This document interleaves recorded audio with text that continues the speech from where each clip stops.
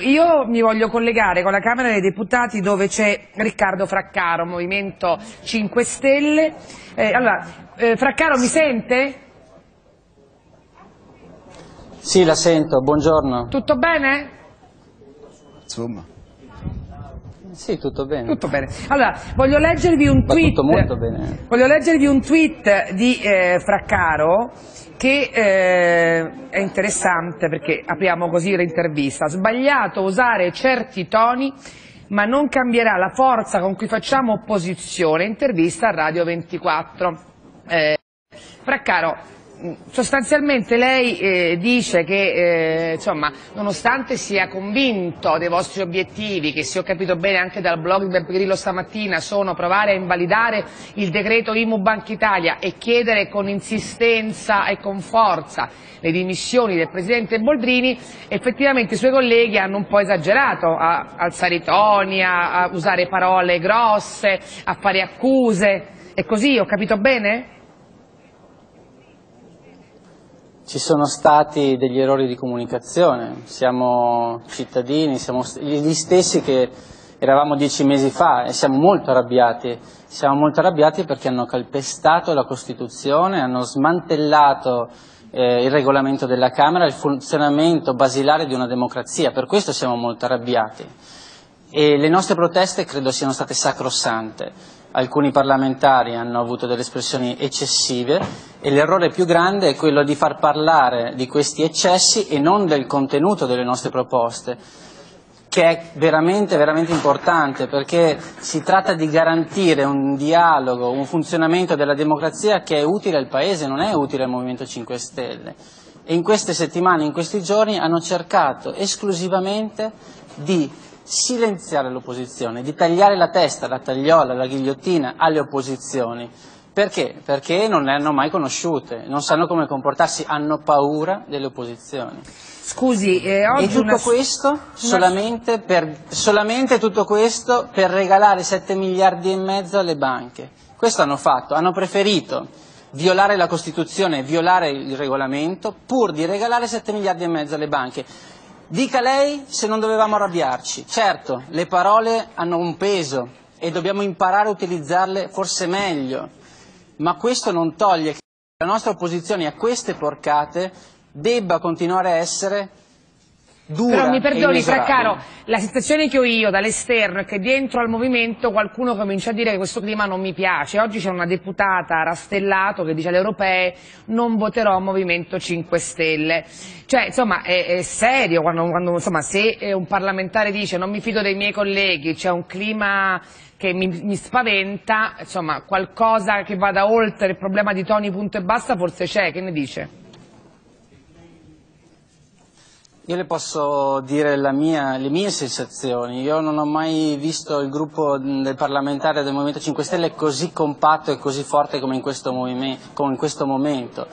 E, e soprattutto siamo cresciuti tantissimo dall'inizio, l'abbiamo visto, gli errori ne faremo, ma saranno sicuramente, come sempre, errori in buona fede. Quando ci arrabbiamo e diciamo una parolaccia di troppo è perché lo, lo sentiamo veramente, perché abbiamo a cuore l'interesse dei cittadini, non perché vogliamo uscire o coprire altre notizie. Questo è il problema. Ovviamente siamo parlamentari, rappresentiamo la nazione e dobbiamo essere all'altezza, ma lo siamo di questo ruolo, perché non è un'espressione sbagliata che ha rovinato questo Paese, non è una comunicazione sbagliata che ha rovinato questo Paese, sono i regali continui che fanno le lobby, sono i regali che continui che fanno le banche.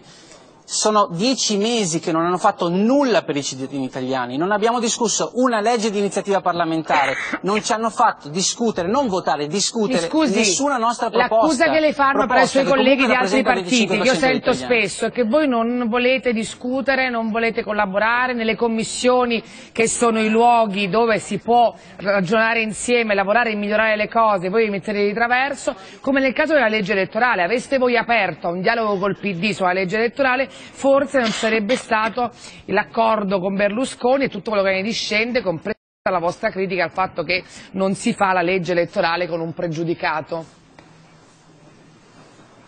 scusi, ma non, si siede, non ci si siede a un tavolo con altre forze politiche sulla base di un ricatto. Io mi ricordo perfettamente le parole che sono state, la prima proposta politica da segretario di Renzi è stato se voi votate le nostre riforme e non è un dialogo, noi restituiamo i soldi ai cittadini, soldi legittimamente presi con il finanziamento pubblico dopo un referendum del 93. Questo è un ricatto, non è una proposta di dialogo.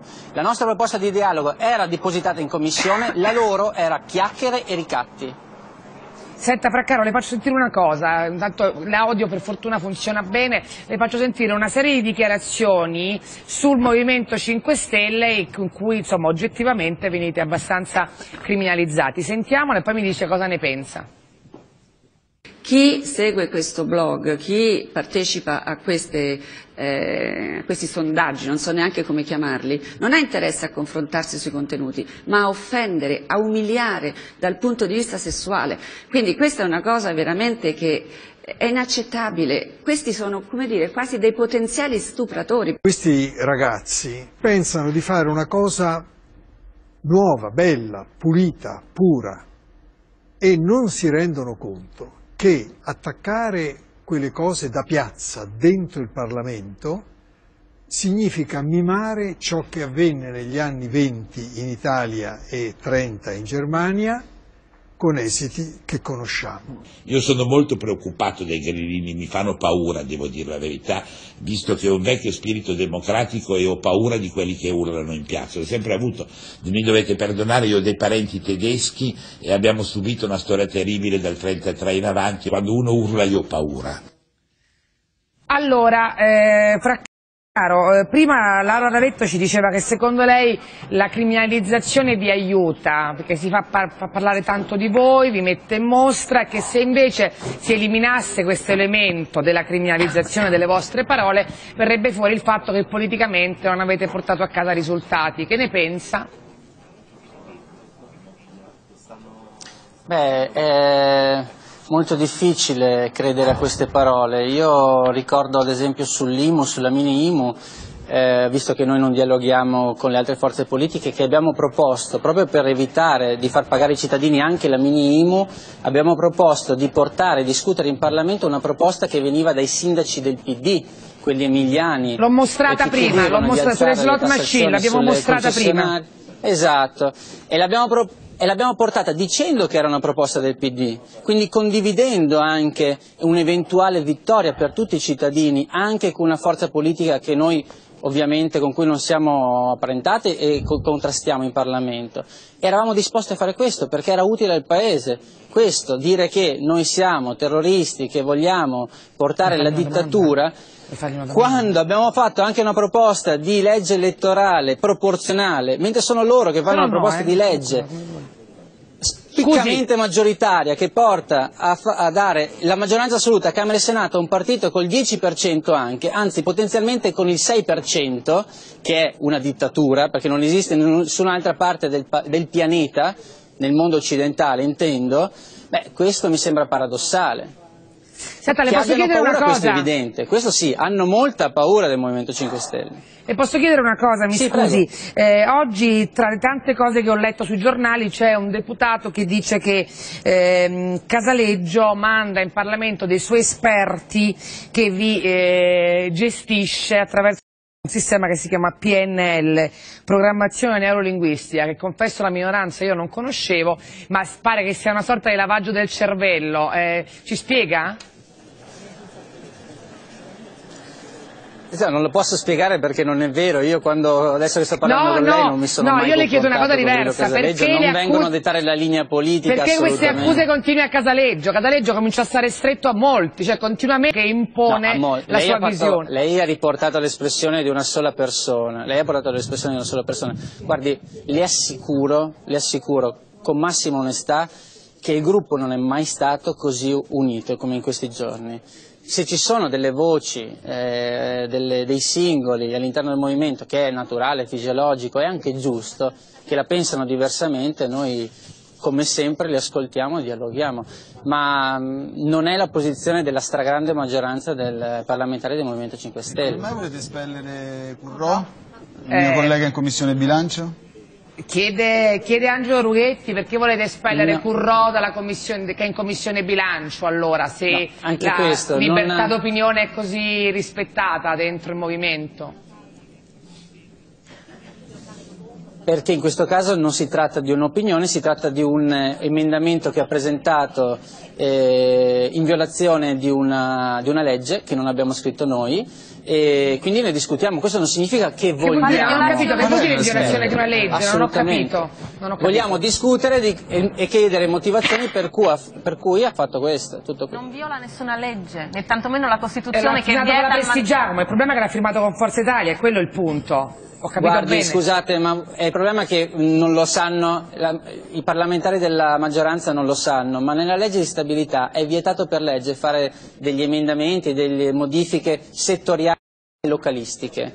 È vietato per legge, non si possono fare. Loro l'hanno fatto per portare a casa un po' di soldi alle fondazioni e alle lobby di riferimento, cosa che noi abbiamo denunciato. Currò aveva fatto la stessa cosa. Quindi per, un per lei fine- quello è un errore politico nobile, di Currò? nobile, nobilissimo.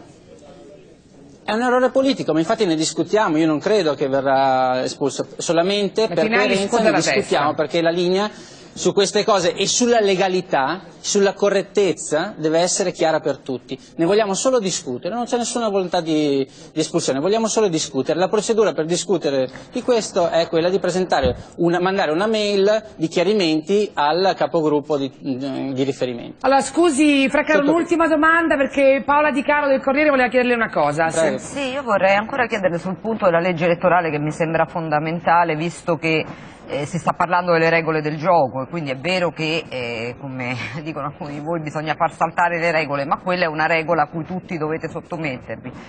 Mi chiedo, il fatto di non partecipare, non aver partecipato alla fattura della legge elettorale, alla costruzione della legge elettorale, eh, vi fa già dire oggi, ci portiamo un po' avanti, che quella che verrà approvata sarà un golpe?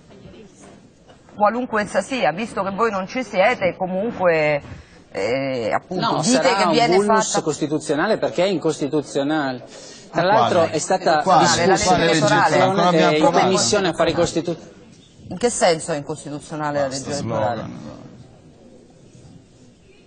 Beh, eh, ha vari elementi, adesso se, vuole, se abbiamo tempo glieli spiego. Il primo elemento che spesso non viene sottolineato è che la Costituzione stessa, articolo 77 ultimo comma, prevede che la legge elettorale sia discussa in commissione secondo l'iter normale, perché deve essere comunque oggetto di approfondimento da parte di tutte le forze politiche. Non è stato discusso un emendamento in commissione, quindi non è che noi non abbiamo partecipato, non ci hanno fatto partecipare. Partecipare per l'opposizione, Ma lo l'avete dico chi occupata ha la fatto finta commissione, di fare come si faceva a in questi anni, partecipare? significa Non avete fatto entrare i Scusa, deputati? dice Rughetti che la commissione era occupata, occupata. che non era possibile discutere.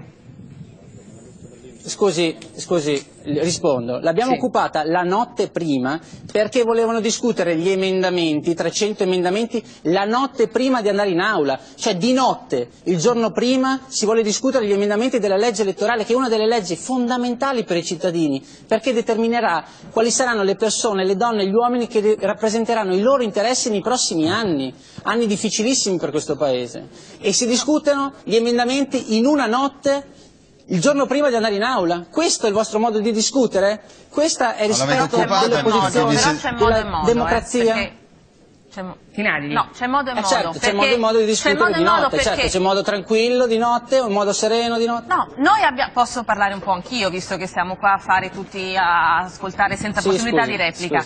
Ehm, eh, anche noi, su, su- su alcuni punti, no, anche noi abbiamo sollevato questa questione. Noi abbiamo chiesto che la Commissione, per esempio, si prendesse più tempo eh, per analizzare con calma tutti gli emendamenti, perché è una riforma fondamentale, quella della legge elettorale, ed è importante che la Commissione abbia il tempo di fare il proprio lavoro in maniera corretta. Quindi io su questo, sul punto, sono d'accordo, però quello che dicevo, c'è modo e modo. Noi non è che ci siamo sdraiati in commissione, che ci siamo messi a urlare, a insultare la Boldrini, a insultare gli altri deputati, a scrivere sul blog e incitare gli stupri. Noi abbiamo sollevato una questione e cercheremo eh, di migliorare la legge elettorale con degli emendamenti, con un dialogo, perché se mi posso permettere, qua la democrazia vuol dire questo, vuol dire che uno è consapevole che se voi avete il 20-25% dell'elettorato e dei voti, vuol dire che c'è un un 70-75% che non vi ha votato e con i quali bisogna dialogare